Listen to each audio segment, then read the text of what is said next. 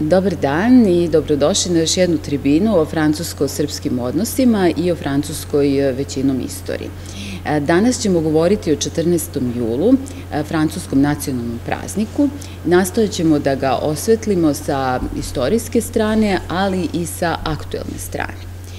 Naime, kada govorimo o 14. julu, treba imati u vidu da je to jedan od 11 državnih praznika koji se praznuju, obeležavaju u Francuskoj i e, koji su u stvari definisani zakonom o državnim e, i drugim praznicima u Republici Francuskoj. E, sam praznik 14. juli e, se obeležava od 1880. godine e, i tada je u stvari donet zakon 6. jula 1880. godine tačno kojim se praznuje ovaj praznik i u stvari koji povezuje dva događaja iz francuske istorije, dva veoma važna događaja. Jedan je pad Bastilje, dakle 1789. godine, 14. jula, kao dan Bastilje i naravno kao dan koji je označio jednu važnu prekretnicu u Francuskoj revoluciji, a drugi praznik i druga, drugi, druga istorijski događaj na koji se referiše ovaj praznik jeste praznik federacije od 14. jula 1790. godine, kojim su se u stvari slavile osnovne vrednosti revolucije, ali i ono što je bilo veoma bitno u tom trenutku revolucije, a o čemu ćemo kasnije nešto više, jeste jedinstvo francuskog naroda. E, danas e, svi znamo da poslednji događaji koji u stvari e, se dešavaju u Francuskoj, a koji se tiču prvo protesta protiv penzijone reforme, a zatim i nereda i nasilja nakon ubistva mladića alžirskog i marokanskog porekla u jednom od predgrađa u okolini Pariza u Nanteru, jesu događaji koji su upravo pokrenuli različita tumačenja kakave je stanje demokratije i ljudskih prava u Francuskoj, dakle onih vrednosti e, koje u stvari Francuska e, još od perioda Francuske revolucije posebno ističe. Sećamo se da su e, nedavno bili napadnuti i simboli Republike, naime posebno su paljeni automobili, zgrade, ulazilo se u opštine, škole. To su sve momenti koji ukazuju da su u Francuskoj ne samo sada, već i u prethodnom periodu vođene debate o stanju e, brojnih, brojnim problemima, kako imigracijonim, e, socijalnim, e, stanju demokratije, rasizmu, policiji i naravno njenim ovlašćenjima. Upravo pominjem sve ovo jer je veoma važno i za današnje shvatanje samog, same proslave i obeležavanja 14. jula i stoga će biti posebno važno upravo ovaj praznik, ovaj 14. jul 2023 godine sa te pozicije e, nacionalnog jedinstva, jedinstva Francuske, ali i sa pozicije smirivanja tenzija u stvari. E sada da krenemo od istorije, da se vratimo dakle u e, revolucionarnu godinu, e, u dan kada je pala Bastilja.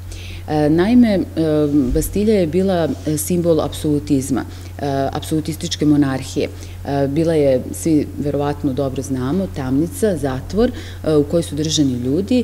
To su uglavnom bili politički zatvorenici i ono što je karakteristično e, da su oni tamo bili zbog pisma sa pečatom, takozvanih optužnica koje u stvari oni nisu imali žalbu, niti su imali prava da budu na neki način pomilovani i često su je njihov život i završavan upravo u Bastilji. E, upravo je to bio negde i simbol e, te veće kraljeve moći e, protiv koje su se pobunili staleži. takođe, ono što je karakteristika Bastilje jeste da su u njoj bili skrivani municija, dakle naoružanje i oružje, što će se ispostaviti takođe veoma bitno kada ona bude osvojena za dalji tok revolucije i za sam krvavi obračun između različitih staleža. Kako je izgledao sve to e, pred e, sam pad Bastilje, e, o tome su pisali mnogi istoričari, savremenici i neki kasnije.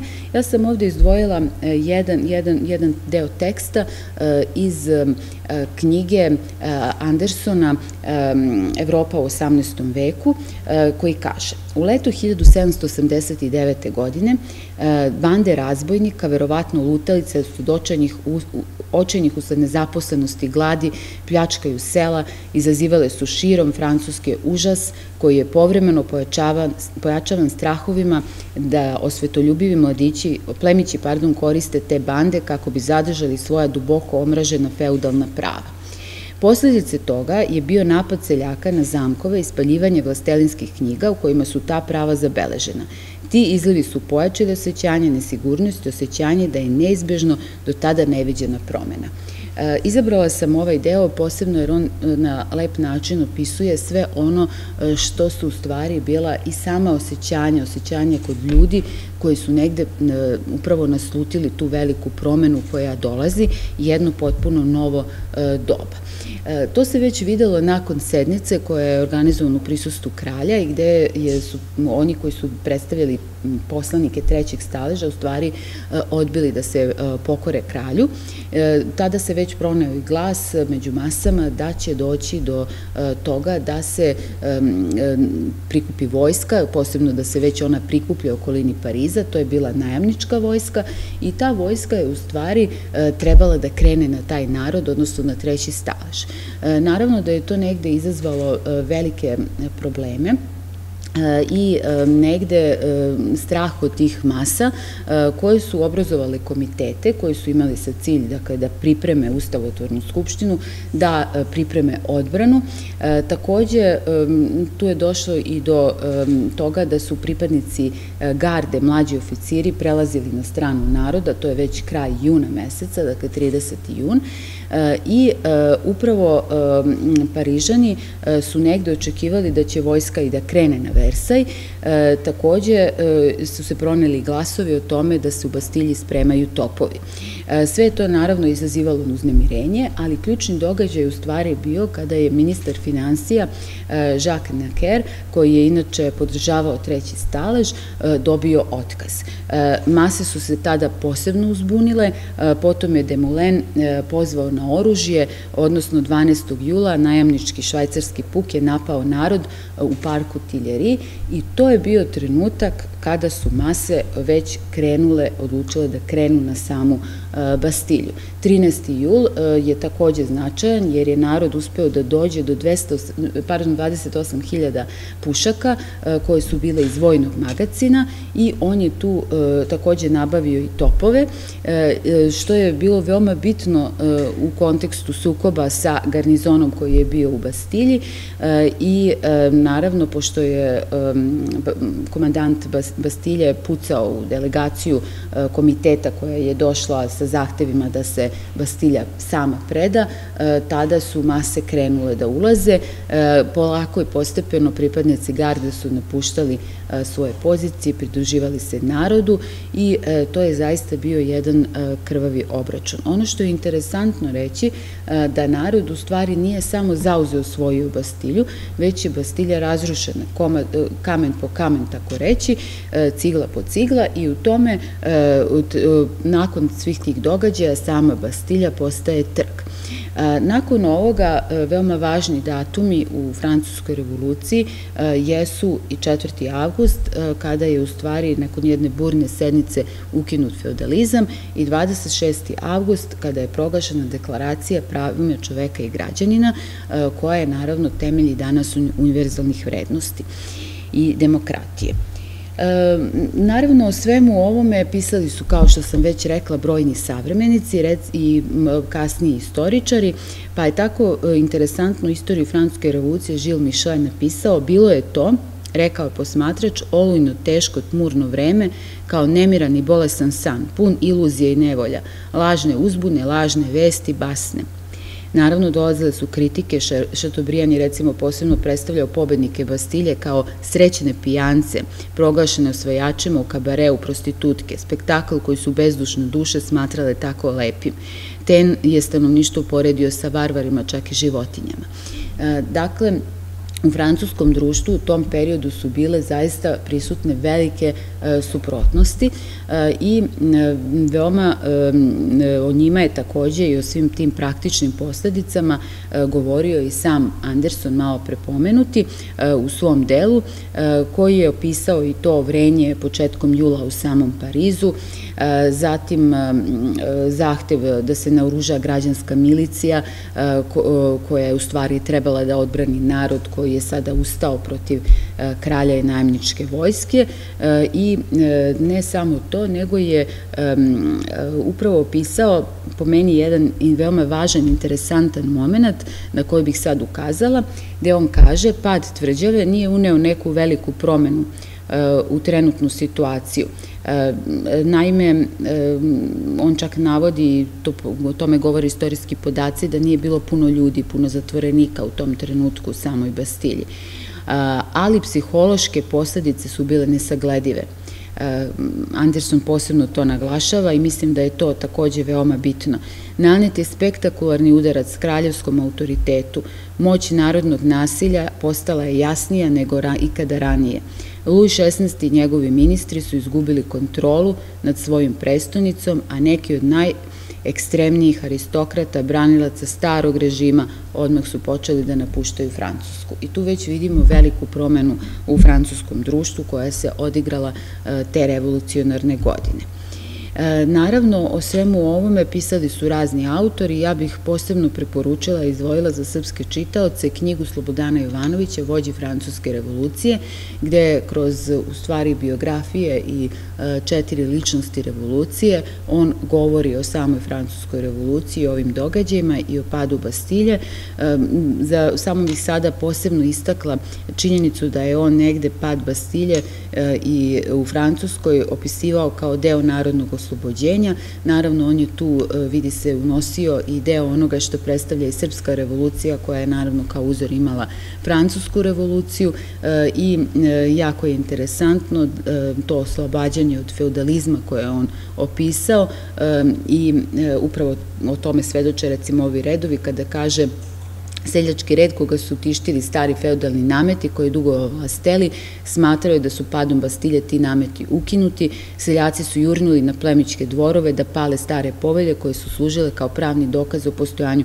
feudalnih nameta i on kaže to je bio pravi rad seljaka protiv plemića, svaki svoga ubite spahiju. Dakle, on je potpuno to negde prepoznao tu situaciju oslobođenja sa onom koja je bila i kasnije, u, u smislu kasnije ekonomije u e, Srbiji.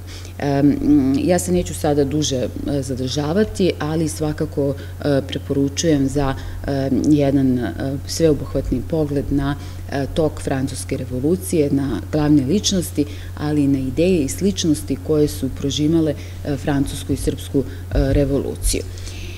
Kada govorimo dakle od današnjem 14. julu, on pored ovog pada Bastilje u sebi sadrži drugu komponentu, a to je praznik federacije i e, to je u stvari događa jedan masovna manifestacija e, godinu dana nakon Bastilja, dakle 1790. godine, koja je u stvari bila u čast onih glavnih postulata Francuske revolucije, slobode, jednakosti i bratstva, ali istovremeno trebala je da posluži kao kohezivni moment e, za stvaranje jedinstva francuske nacije. Naravno, gradovi i sela su odmah negde nakon pada Bastilje počeli da se udružuju, stvarane su federacije, to su udruženja koja su u stvari promovisala i tu novu realnost, odnosno nove ideje koje su pobedile u čitavom revolucionarnom procesu. I svakako da je veoma bitno da je tu među njima nastala i sama ideja obeležavanja revolucije, ali istovremeno e, jačanja nacionalnog identiteta e, kroz jednu manifestaciju e, i naravno da je takva manifestacija mogla i morala biti organizovana samo uz podršku novih političkih struktura, a tu je posebno važnu ulogu imala Narodna skupština. Stoga je, dakle, ova manifestacija iz 1790. godine u stvari imala jedan i državni karakter – I e, veoma je važno reći da u ovom e, periodu, u ovoj fazi revolucije, Ustavnu monarhiju je predvodila predstavnička skupština i upravo negdje je većina verovala da je završen taj period političkih borbi i da je potrebno povratiti jedinstvo. U ovoj, u ovoj manifestaciji veoma važnu ulogu, važno mesto imali su takođe kralj i kraljica, kralj Lu 16. jer je on u stvari predstavljao jedan novi ideal kralja građanina, E, francusku liberalnu e, ustavnu monarhiju e, i za ključan prostor ovog, ove manifestacije predviđena su i odabrana Marsova polja. Bilo je veoma bitno da se izgradi stadion koji bi mogao da primi sve posetioce jer je, jer je negde planirano da pored raznih manifestacija koje su ranije negde postojale da bi se slavile taj, te ideje francuske revolucije u drugim brojnim gradovima i mestima, sada da većina građana u stvari dođe u Pariz i da tu prisustuje ovoj manifestaciji. Iz toga je građan jedan stadion koji je imao kapaciteta 100.000 mesta za sedenje i on, njega su gradili dobrovoljci. E, na seni je postavljen jedan most od čamaca e, i on je u stvari vodio do jednog oltara gde su polagane zakletve, zakletve na budući ustav. U stvari u tom trenutku još uvek nije bio, pisao se ustav, ali još uvek nije bio zvanično ratifikovan.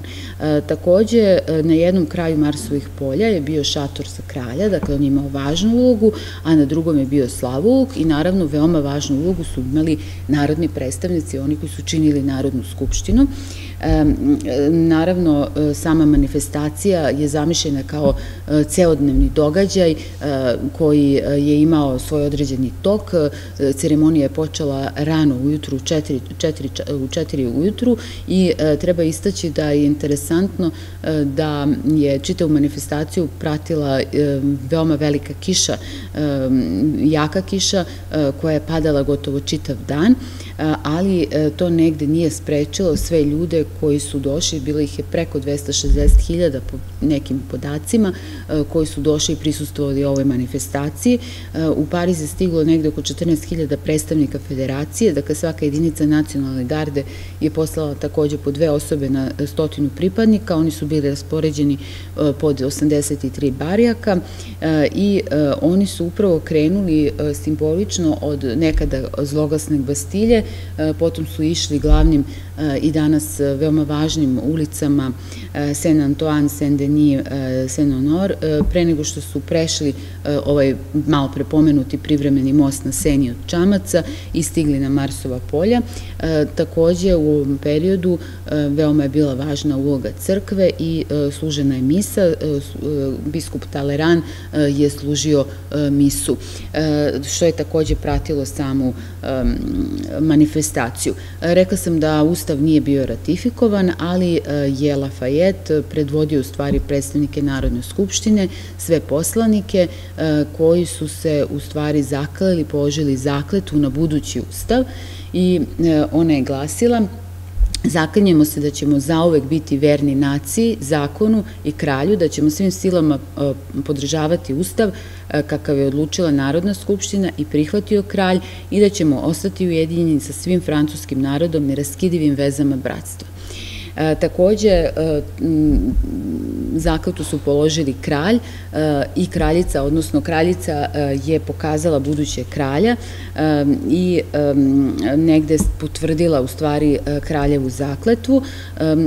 Naravno, još jednom podločim da je sada kralj imao jednu novu ulogu kralja građanina i da je prosto u ovom trenutku, u ovom periodu revolucije negde prevladalo takvo uverenje da on treba i mora da ima jedan važan, um, važnu, važnu ulogu u tim događajima. E, na fotografijama koje, koje vidite u stvari negde postoje svedočanstva kako je čitava ta manifestacija uh, izgledala. E, takođe, interesantno je reći da je ovo bio događaj na kome su se prvi put pojavili neke strane delegacije u svojstvu gostiju. Veoma je interesantno da je ovo prvi put da se se pojavila viorila američka zastava, zastava Amerike van njene teritorije i naravno interesantno je reći da je praznik se nije samo završio, odnosno proslava sama se nije završila 14. jula, da je ona bila u stvari za nju je određeno nekoliko dana, odnosno do 18. jula, o čemu govori koliki je značaj za Francusku u tom trenutku u stvari predstavljao ovaj praznik federacije. E, takođe, e, kada govorimo o današnjem 14. julu, ja sam e, na početku rekla da se on obeležava od 1880. Međutim, veoma je važno istaći dve proslave koje su se dogodile dve godine ranije, 1878. Dakle, mi je znamo kao godinu Berenskog kongresa i 1879. Kada govorimo o 1878. godini, u Parizu je zvanično priređena dakle, čast u ime, u stvari u, u čast Republike Republike i ovaj događaj je upravo predstavljen na ovoj fotografiji Kloda Monea koja je veoma e, poznata, e, pardon, slika Kloda Monea koja je ovde fotografija naravno, e, koja je veoma poznata. Takođe 14. jula 1879. godine održana je druga svečanost, ona je imala poludržavni karakter i u stvari nju je negde organizovao jedan od najpoznatijih narodnih tribuna, govornika i simbol demokratije, demokratskih univerzalnih vrednosti Leon Gabeta i Figaro je pisao tada da su ljudi širom Francuske, citat, mnogo slavili E, i da su odali počast padu Bastilje. Dakle, posebno je to naglašavano. Na osnovu ove dve godine i jedne kampanje koja se vodila e, u javnosti, e, posebno među predstavnicima u Narodnoj skupštini, stvorila se i gajila i razvijela ideja da je potrebno da Francuska dobije jedan datum koji će u stvari obeležiti i predstavljati sve one vrednosti iz korpusa Francuske revolucije koje su univerzalne, koje su važne i naravno to je bio period kada je bilo potrebno ojačati republikanska uverenja, ojačati republikanski režim, jer Treća republika e, je imala brojne probleme, još uvek se borila sa e, jakim monarhističkim strujama. 14. E, jula, tako, 1880. dakle, došlo je do toga da ovaj datum dobije značenje državnog praznika. Malo pre sam pomenula da je 6. jula u stvari donet taj zakon, da je u stvari zakon, bih sada dodala, predložen već 21. maja, da ga je potpisalo 64 e, članova vlade i možda je interesantno reći da je bilo sporova oko toga da li je datum dobro izabran. E, naime, pre svega negde 14. julu se zameralo i padu Bastilje to krvoproliće koje je tada se dogodilo, ali se naravno stoga e, opredelilo da 14. E, jul ne bude samo omaž padu Bastilje, već da se i ova proslava federacije kao značajan događaj e, unese u sam, samo obeležavanje datuma, a pored 14. jula bilo je predloga da to budu 4. avgust, dakle dan kada koji predstavlja kraj kralj feudalizma, 5. E, maj, e, kada se prvi put pa, sastala Skupština Staleža, 27. jul koji predstavlja pad Robespijera i 21. januar, e, datum pogubljenja Luja XVI. To su dakle bili neki od predloga na koje bi u stvari taj dan nacionalni praznik Francuske mogao da se referiše. Na kraju su se poslanici opredelili za 14. jul. Takođe veoma je bitno da je tada i podignuti onaj spomenik spomenik o kome sam ja već govorila na nekom od prethodnih e, predavanja, e, koji se danas nalazi u stvari na Trgu Republike, spomenik Republici. E, takođe, e, treba istaći e, i ne zaboraviti jedan govor e, o samom značenju ovog datuma, to je govor koji je senator Henri Martin u stvari izneo, koji je i napisao zakon o danu državnosti i gde se on obratio u stvari Narodnoj skupštini 29. juna i rekao, ne zaboravite da je za ovog 14. jula, kada je pobeda nove ere nad starim režimom kupljena borbama, zapamtite da je posle 14. jula 1789. bio 14. jul 1790. Ne možemo kriviti ovaj kasniji dan za prolivanje kapi krvi za podelu zemlje. To je bila posvećenost jedinstvu Francuske. Ako neki od vas možda oklevaju protiv prvog 14. jula, svakako nećete imati ništa protiv drugog. Bez obzira na razlike koje nas mogu razdvojiti, nešto je jače od njih, a to je slika nacionalnog jedinstva koje svi želimo, za koje se zalažemo i za koje smo spremni da umremo ako je potrebno. Dakle, veoma bitan moment 1880. jeste bilo i nacionalno jedinstvo. Podsjetila bih da je Francuska u prethodnom periodu prošla kao izuzetno težak trenutak, a period, a to je bio period e, rata, poraz u ratu sa Pruskom i da je ovo period kada Francuska ne samo jača svoj unutrašnji kohezivni faktor nacionalno jedinstvo, već se vraća i na međunarodnu e, scenu. E, dakle, To su upravo veoma važni momenti za istoriju Francuske i stoga su oni i danas temelj francuskog identiteta i današnje proslave 14. jula. Kada danas kažemo 14. jul, prva pomisao na Francusku 14. jul jeste vojna parada, odnosno parade, i one se zaista obeležavaju od 1880.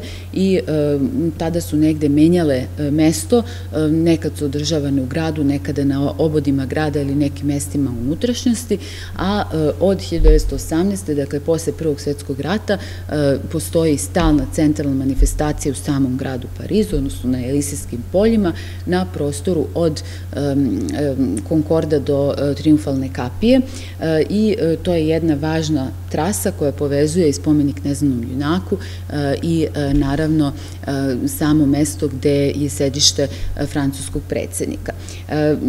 Takođe treba istaći da su se u vreme nemačke okupacije proslave vojne parade i obeležavanje 14. jula održavale u Londonu, naravno uz prisustvo Charles de Gaulle, a veoma je interesantno reći da se recimo e, praznik e, još od Prvog svetskog rata obeležava u Belgiji, grad Lijež, e, veoma velikom značajnom manifestacijom obeležava ovaj praznik, inače Lijež je upravo i grad koji je odlikovan legijom časti. Praznik se obeležava u Vancouveru, preko 20 grada u Sjednjim američkim državama. Interesantno je da u Pragu postoji jedan, jedna manifestacija, pijaca 14. jula, do duše od 2008. godine koja je novijeg datuma. E, naravno, praznici obeležavaju nekadašnjim francuskim kolonijama i naravno ambasadama e, Francuske širom sveta i veoma važna e, tačka okupljanja svih tih manifestacija, pored ambasada, su francuski instituti. Ja bih podsjetila sada i na neke od veoma važnih predstava proslava u novijoj istoriji, dakle obeležavanje 14. jula. Ono što bih žela posebno da naglasim jeste da su te, ta, te obeležavanja 14. jula proslave u stvari imale često jedan istorijski okvir, odnosno nastojale su da neguju sećanje na neke od istorijskih događaja i naravno bile su e, veoma e, bitne e, i u kontekstu tada aktuelnih strategija spoljnopolitičkih Francuske, naravno ne samo unutrašnjih, tako da, na primer, treba podsjetiti na 1979. kada je održan prvi koncert na kome je bilo preko milion ljudi, E, tada e, je na trgu Concord bio koncert e, Jean-Michel Žara.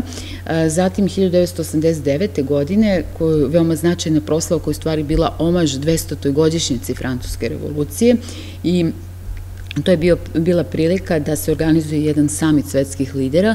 U tom periodu domaćin je naravno bio francuski predsednik François Mitterrand.